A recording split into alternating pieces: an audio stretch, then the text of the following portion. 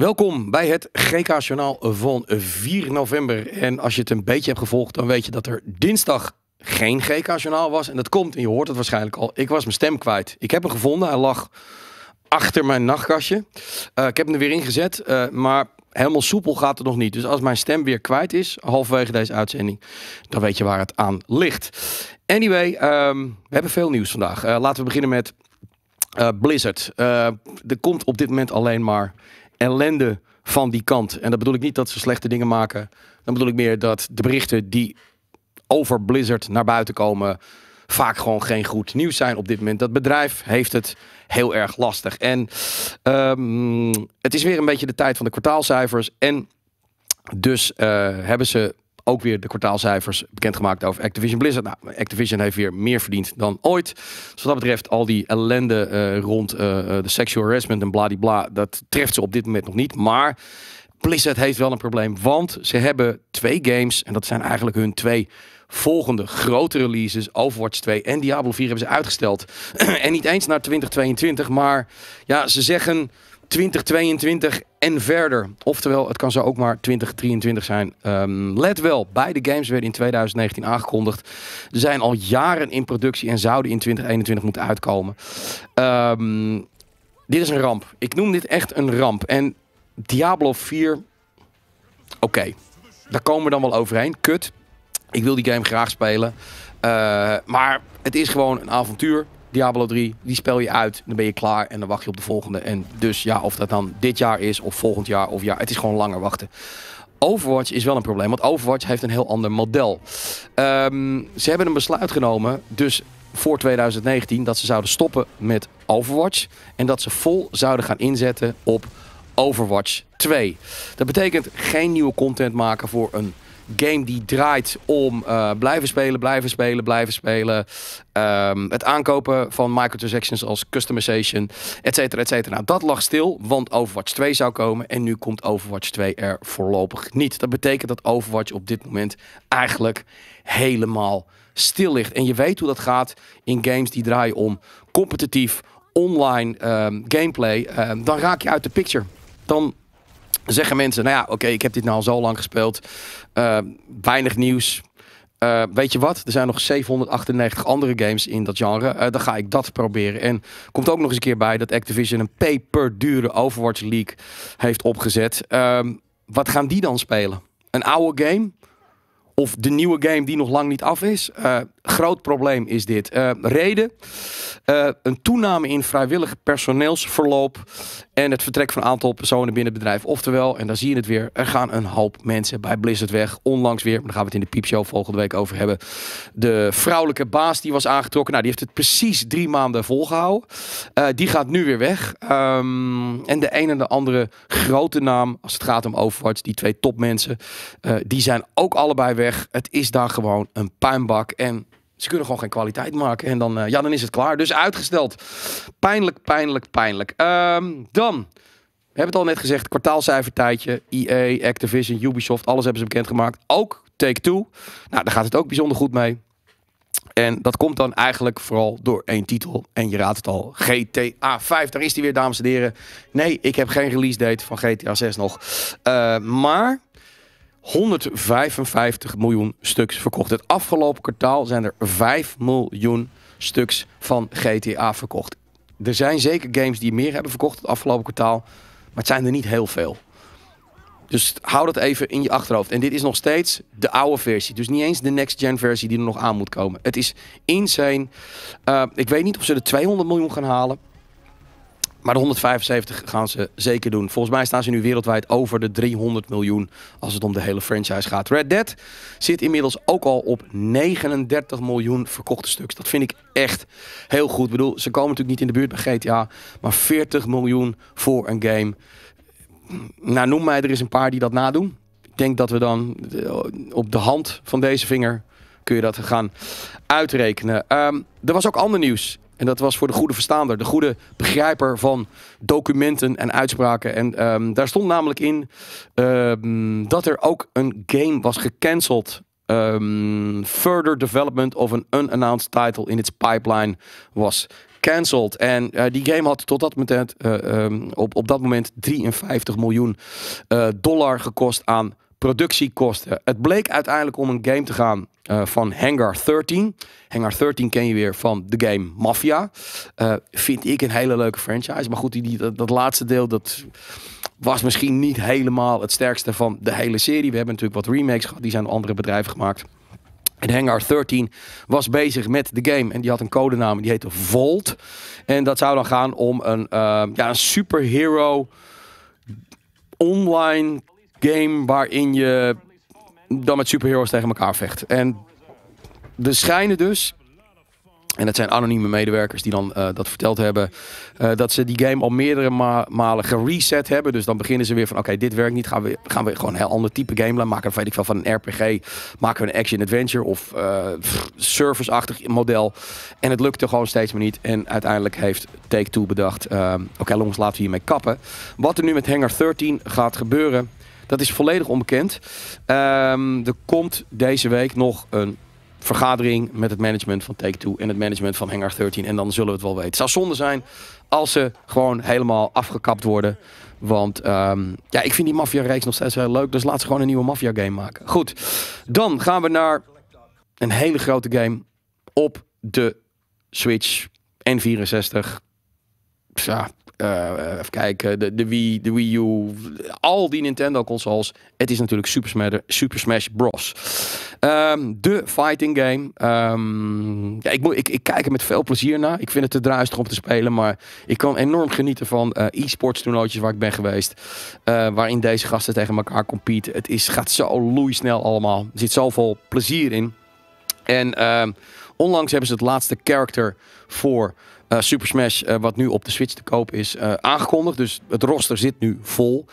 Ja, en dan krijg je de vragen van, oké, komt er nu een nieuwe Super Mario, of een, een, nieuwe Super Smash aan? Nou goed, Masahiro Sakurai, Masahiro Sakurai, dat is de man die deze uh, franchise heeft gemaakt. Die heeft een interview gegeven met Famitsu.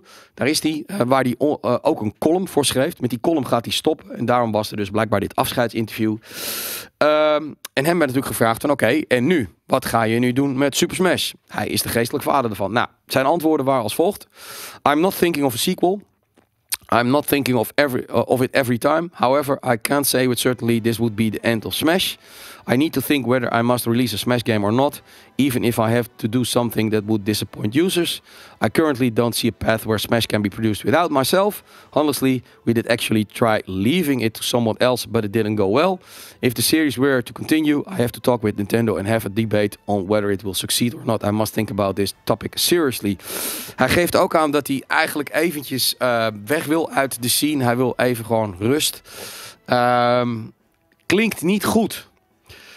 Um, dit klinkt als iemand die donders goed weet dat wat hij gemaakt heeft topnotch is en misschien niet meer verbeterd gaat worden. En uh, op een hoogtepunt moet je misschien wel stoppen. En Nintendo is niet het bedrijf als, um, ja, noem even een third-party publisher die zegt van oké, het is mijn IP. Uh, uh, Willem P, jij wil het niet meer maken.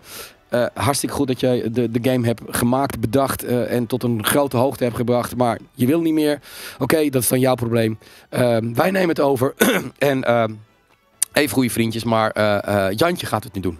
Of Willemina, hè, inclusief. Ehm, en ja, dan krijg je meestal gewoon inderdaad niet een gelijkwaardig product. Dan wordt het product meestal gewoon minder goed. Omdat de geestelijk vader iemand die tot in zijn zijn, haarvezels deze game kent en alle ins en outs uh, heeft bedacht. Uh, ja, dat kan je niet zomaar overnemen. En um, je ziet vaak dat dit soort uh, Miyamoto heeft het, op, heeft het ook een beetje van, die hebben, die hebben jarenlang gewerkt onder hoge druk. Zijn op een bepaalde leeftijd en denken, weet je wat, ik, ik vind het misschien ook wel mooi geweest. Ik, ik ga misschien wat meer op de achtergrond, ik ga advies geven, ik ga jonge developers helpen. Maar ja, ik zie niet in wie dit kan maken. En Nintendo gaat dat denk ik ook niet afdwingen. Dus het zou zomaar de laatste Super Smash Bros. zijn die we gehad hebben. Maar gelukkig kunnen ze die dan nog 36.000 keer porten naar de volgende Switches. Uh, dan Netflix. Jawel, dames en heren. Je kunt gamen via Netflix. Vijf games zijn eruit gebracht eh, vanaf 3 november. Nou, dat is dus vandaag. Kun je dat gaan spelen in Nederland op je Android. Kost helemaal niks. Behalve dan dat je natuurlijk wel een Netflix-account uh, moet hebben. Uh, je kunt het niet nog met een controle doen. Je kunt het alleen met je vingertjes doen. Um, ja, het zijn niet briljante games. Ik bedoel, heel veel, er zitten drie Stranger Things games bij. Ja, goed. Niet wereldschokkend.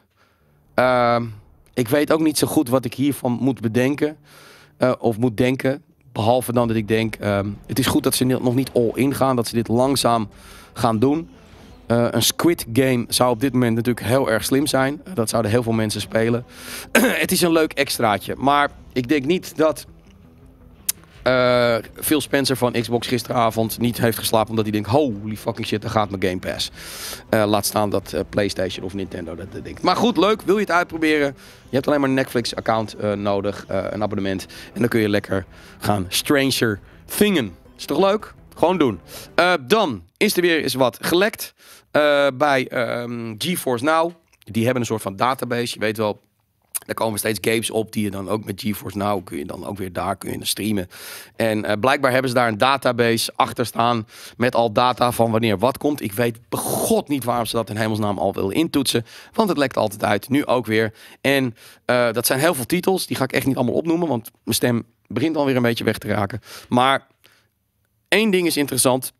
Er staan namelijk vijf PlayStation 5 exclusives in. Horizon Forbidden West, die zou dan uitkomen op 30 september 2022. Returnal, die gaat naar 30 april 2022. Ghost of Tsushima, dat moet toch fucking mooi uitzien als je dat op de PC doet. Die gaat naar 8 februari uh, ik moet even goed hebben, want ik, ik zie hier nu allemaal nummertjes. Um, ehm, 8 februari 2022. Sackboy, A Big Adventure. Die gaat naar 5 januari 2022. En Ratchet Clank, die komt uit op 10 uh, eh, januari, maart 2022. En, nou is dit zoiets van, zou je kunnen denken, ja, oké. Ehm, en toch zijn er heel veel PlayStation bezitters die zeggen, holy fucking shit, wat snel. Dus eigenlijk al binnen een jaar het was eerst vaak twee tot drie jaar. Binnen een jaar gaan deze games al naar de PC. Ze hebben natuurlijk ook die Nixus aangekocht om dit soort processen sneller te doen. En je weet wat de filosofie is.